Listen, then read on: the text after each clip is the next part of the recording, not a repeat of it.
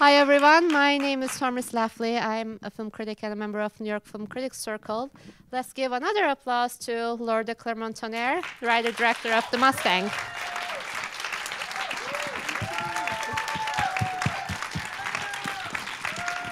Thank you so much.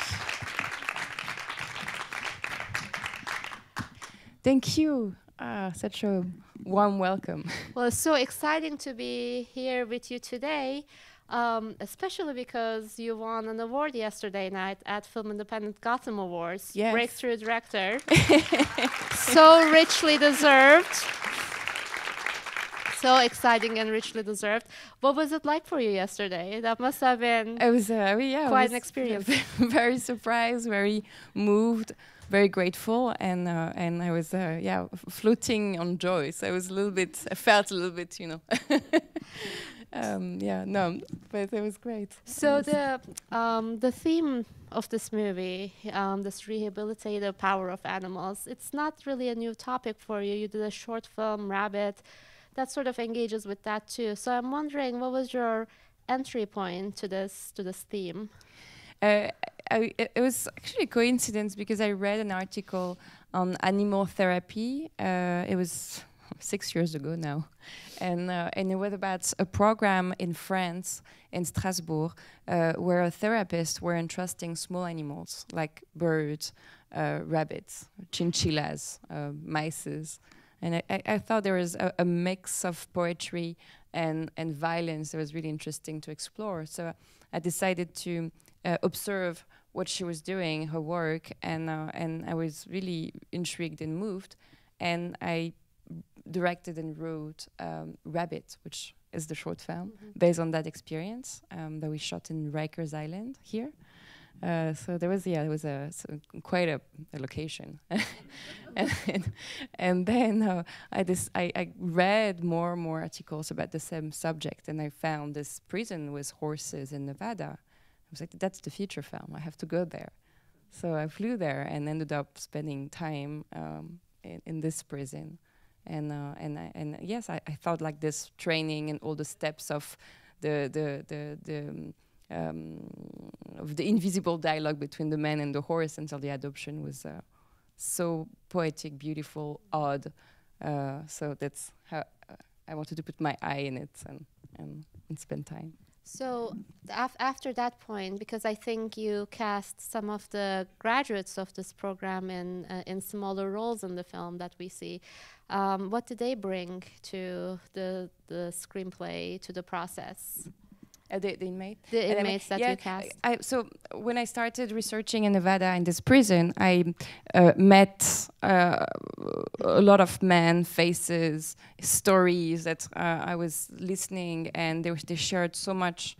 And so I, I asked them, when, when are you getting released? Where, when, when is your parole date? Would you like eventually to be part of this adventure uh, if you feel ready, if you want, if uh, and there were some of them were like, yes, yes, we'll we'll we'll we'll, do it, we'll see, and then I built this connection with them, knew when they were getting released, and after by the time we were ready to shoot, I I, I offered them eventually if they wanted to to join us, and three of them were really interested and uh, were working actually as horses wranglers and also as actors. Um, and one of them is Thomas uh, in the film, and he was, uh, uh, he, yes, I, I met him and I thought that he was so fascinating. His face, his, uh, his has like a, th- this damages and this sensibility, and, and um, he he brought so much, so much truth. So I, I really wanted to to have this mix of authenticity and and um, and and fiction, and uh, that's that was where uh, I thought it was interesting to mix everyone together and to be able also for the crew and also for the professional actors to be surrounded by men who actually it, it was exactly their stories and they went through like all those steps. I mean, that authenticity is so wonderful and, and palpable. Um, one of the things that we hear a lot that filmmakers are often advised uh, against making movies that involves animals, but um, you have quite a challenge here. So, what, what, what was it like to be on set with, with wild horses? Did you have a trainer? How did you kind of work Yes. around um, that aspect? Yeah, yeah, we, we had a really good horse trainer, um, and and he he was wonderful because he knew exactly which which horses to work with on which scene. We had three uh, identical hero horse. So one was completely green, completely wild. Another one was semi-wild, and the other one was fully trained. So there was, uh, you know, to shape like the, the, the arc of the horse. It was really important to have like those three um, um, twins. I mean, not twins. Uh, uh, tri- triplets. Triplets. yeah. um, and actually, I kept one of them. So uh, um, Marky lives now in Burbank, in the equestrian center. So when you live in Los Angeles, you can have a horse, but you yes, know, which was completely un- unexpected, but yes, that's how. That's wonderful. Um, so yeah, it's, it's a great story that I love hearing from you. Um, and and Matthias Schoenaerts, did he have any experience with horses before? How how did he how did he become Roman? No, he did not really. I mean, he said yes. I I I, I ride. I like, okay. so when he when he met the trainer the first time, uh, the trainer says no, he doesn't ride, but. but, but, but don't worry, we'll make it work. And uh, and actually, w- Matthias wanted to keep this freshness, this intimidation that he ha- he naturally had, because those horses were not the horses that you know he, they were like had a little bit of energy, and uh, and obviously the wild horses are very scary. So he he wanted to with obviously it's the safety, you know. Uh, Right. uh, net that we I mean we had the horse trainer all the time with us but he he wanted to keep this um, yeah this distance uh, and also to have like a, a, real struggle connecting with the animal so he he wanted to ride but in a way he was like a little bit reluctant he was like no no I want to I want to be, you know, emotionally surprised. And was like, yeah, you're going to be really surprised if you get kicked. So, so it was, it was like this, uh, this, this funny uh, training between the, uh, Rex, the horse trainer, Matthias, and I was like, you have to ride. And he was like, yes, it's. So, but he did really well. He did very well. He did. I mean, he gives an amazing performance. Not not not just a physically demanding performance, but also an emotional one too. And it's you know in a lot of the quiet moments where he is you know so effective. So how did you kind of help him work with him to get into that headspace because he keeps a lot inside. He doesn't um, you know he bursts out in anger, then he goes back to a quiet place. What was that process like between the two of you building the character Roman? Um, uh, what was very uh, he, he was very driven by by the need to tell this story in a very personal uh, level. So I was really grateful because he uh, read the script, understood exactly the the the, the internal struggle of this character, and uh, and I feel that he also his mother that unfortunately uh, sadly passed several years ago was doing meditation in prison so he, knew a lot about rehabilitation um, and he was um, very affected by roman's arc. So he really wanted to do those research going to we went to prison together to listen to a lot of stories to meet a lot of men and he absorbed absorbed emotionally. He, his approach is very emotional and intuitive. So uh, he, he wanted to absorb sound smells words um, physicality and then just let it sink into him so that was what was important for him um, and uh, and and we had a wonderful partnership um, that was not really in the words. I mean, there's not that much words in the film, and actually, were, for him, it was too much. I was like, no, that's in a silent, silent, no more words, no more words, and he was right. So uh, yeah, that was uh, such a, a luck to have him. Uh, he's really like the the, the soul. really Uh, is. and his scenes with his daughter, played by this young actor Gideon Ad- Adlon, I Mhm. hope I'm pronouncing her name correctly, um, those really kind of ground the film emotionally when, when they sit down and, and talk about. So, how did the two build that very believable organic chemistry between the two of them that also has a has an arc? Uh, yes, and and uh, and it was just two days of shooting, and it's true that for two days, getting into all the arc of this relationship was very challenging Mm-hmm. for them. But they spent some time together, and um, and I think they were in in, in this headspace of being. Uh, um, it's like a, a, another arena with a horse. It's like Matthias is, is fighting with another horse, which is her daughter. So it, it was also a, a, a, lot of emotions, intuitions. Um, Sometimes we would improvise on the scene, like this is the purpose of it, and uh, just you know, it's not Shakespeare, so you can change the words. you can do, just be free to really feel like the the, the challenge, um, and and and and so we took the time. Uh, we didn't have we have 23 days of shooting, so it was a really aggressive schedule. But for those scenes, it was very important to just spend five six hours just to make sure that the balance of emotions between like holding back and giving was was was right and and felt for them actually truthful. So yes, we we took the time for that. And um, I want to also talk about some of your filmmaking choices. It it feels like there are elements of a western in in this movie, but there's also moments that you are so close and watchful, like a documentarian. Um, you're the way you're filming the horses, the characters. So talk about kind of balancing those styles, but still making a narrative film. Um, so the westerns elements came because of the location of the prison in Nevada. I knew it was going to be a prison film, but the, the western was more more a surprise when I ended up being there, and this beautiful nature was um, um, wild and kind of uh, uh, enveloping this prison. And the, the, the visual contrast was huge because you have like the square lines of this very austere prison surrounded by this very um, untouched nature.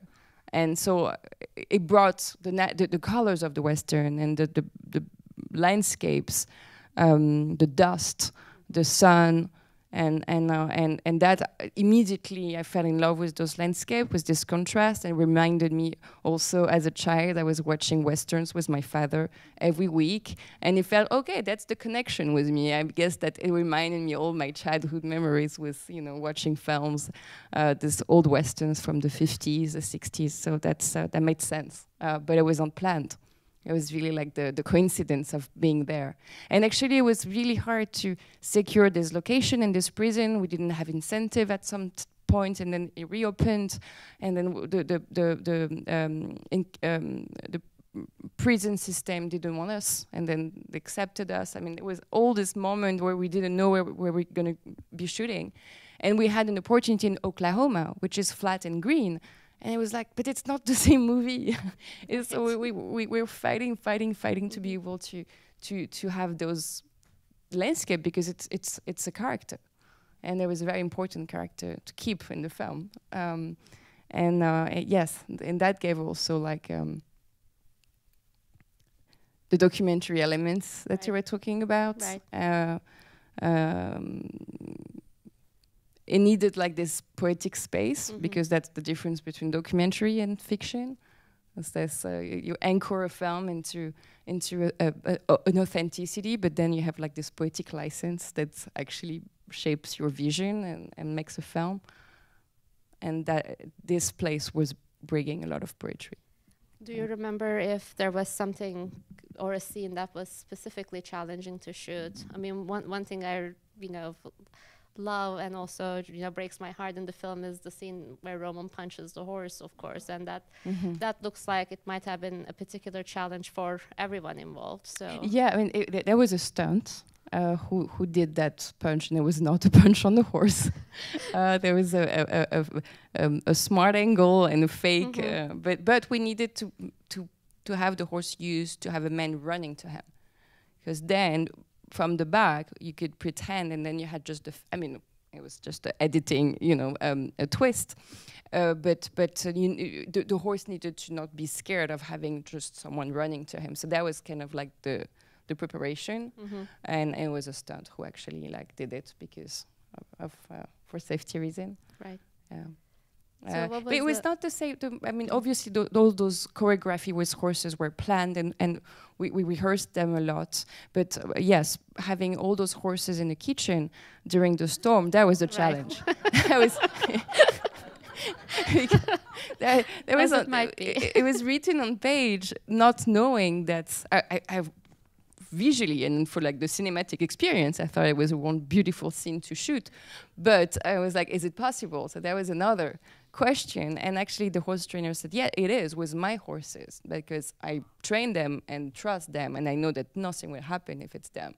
So obviously, it was not white horses there, and it was like very well. So we knew, but the, even if it's supposed to be safe and without risk, being in that space, a closed space with all those animals, it feels like against nature, which it was the feeling I wanted to give. But when we were shooting it, like Matthias was like, "Seriously, are you, are you, are you, are you sure about?" It? I was like, "Mm, "Okay." So yeah, we had we had a little, little uh, um, fear. Yeah. Well, it worked beautifully. So I'm I'm wondering, Bruce Stern almost seems like he he was just made for this movie. It's you know such such a great casting choice. How did he how how did he come on board? How did you bring him on board? Bru- Bru- Bruce. Bruce Stern. Oh, Bruce Dern. Yes, Bruce Dern. Um, he, so he he he read and uh, the script, and we met, and then he said, um, "Your your character is good, but I'm much funnier, so I will." I, I, bring a lot of uh, jokes and uh, and sense of humor, and I was like, "Please come, Please welcome do. on board." and I was like, he he. What, was wonderful, he, he um he really enjoyed on screen and behind the screen to to um, uh, to guide, to give advices to those younger men around him, and he was telling all those stories. And he is the one that he's the only one who shot John Wayne. So he was he was. So we had all those. Sto- I mean, he obviously has such a huge career and worked with so many um, wonderful uh, people. So he had so much, so much to to. So we, yeah, he we we learned so much from him, and he enjoyed uh, um, being part of it and being like a father figure. And so that that was uh, it was very moving to see like the connection with him and and all those younger younger men around. So it sounds like that that figure on screen and off. Yeah. It was just Oh, know, completely. parallel. Even after he was like he, he kept like monitoring and giving advice and uh, yes. Um, so thematically, you know, I'm very moved by this film because it's it's about the, eventually second chances, second chances for everyone, and forgiveness. And I feel like that's an element we can use a lot more in in today's society. I'm wondering if you were actively thinking about this theme, or was it kind of a byproduct after you finished making it? You just realized, you know, you're actually making a political statement by not being political about it. Um, I, I, I didn't want to give any any judgment to keep Mhm. really objective because it's not what I- mean. Um, uh, as a as a young filmmaker, I wanted to just share my experience and why I loved it so much and why I th- think it's very important and timely. Um, by not revealing the crime of Roman and spending an hour with him and not knowing what he's done, I thought that was important to give the audience the, the, the, the, the choice to believe in the second chance. You just spent an hour with this man. Do you trust him? Do, do you do you want to give him a second chance? I won't. I, I love him, even if I know what he's done, because I, I that's my experience going in prison so much and spending so much time there and learning about anger and violence, and learning about also all those awful mistakes. Um, it's a real question: Is can ev- everyone uh, deserve forgiveness and a second chance?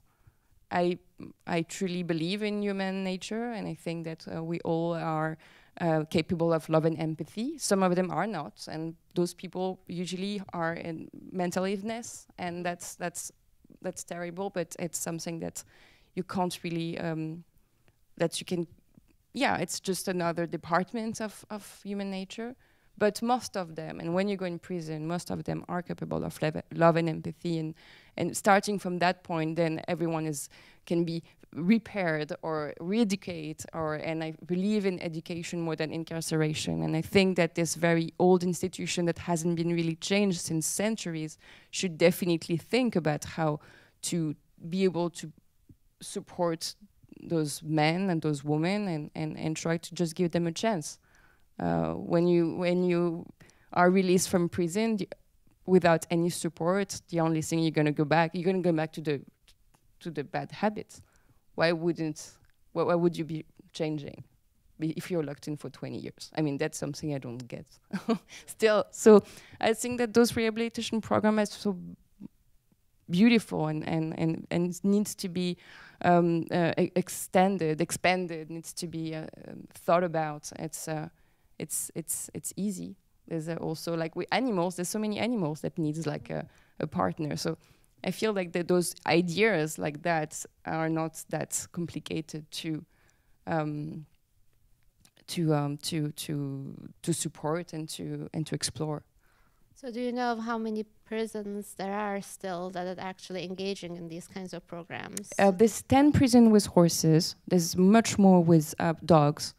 There's a lot of dogs program. Mm -hmm. uh, also, a, a, lot of um, pit bulls who are actually uh, in shelters. They have 72 hours to leave, and there's association who actually take them and put them in prison so that they can be trained by inmates. Also, same program for adoption, uh, and and and with cats also. yeah, there's a cats program, uh, uh, and uh, I think like in a prison in New York actually. Uh, so yes, there, there's also a gardening program, which I think is beautiful because it reconnects humane with nature, mm -hmm. with his own nature, his own emotion through nature. So it's a very, it's no words, no lies, but just very um, emotional way to repair someone's soul uh, and to heal. And I think like in those places, they really need to be healed. Um, and especially, yes, this country has a real problem of massive incarceration. Uh, in France, it's not much better. It's like one of the worst um, uh, prison uh, system in the world. and, uh, even if not the sentences are not that long, mm -hmm. but still, it's like sometimes overpopulated and very old facilities. Very yes, it, I, it's crazy that no one really are rethinking incarceration. Um, so I think that yeah, I'm always been very intrigued by the sense of punishment, and it comes from that that fascination for punishing locking someone in uh, and trying to find some solution, opening a conversation. So it's not a political statement, but it's definitely to raise awareness and start a conversation. And what you say about punishment is so true. We almost see it as an end. Okay, you're you're punished, and this is where you end. But we don't see it as a process to get to the next step, to to resurrect that person, um, to make sure that he or she is useful to the society again. So that's a beautiful statement. Thank you. Yeah. We have some yes. questions from the members as well that. Yes. I also have a little note from Matthias, who was actually uh, couldn't uh, make it on time here, unfortunately, because he's uh, in post production and doing a, a, ADR, that he couldn't move. But he has a, a, a note that I wanted to read to you. Uh, Please do. oh, sorry. Okay, What's the treat?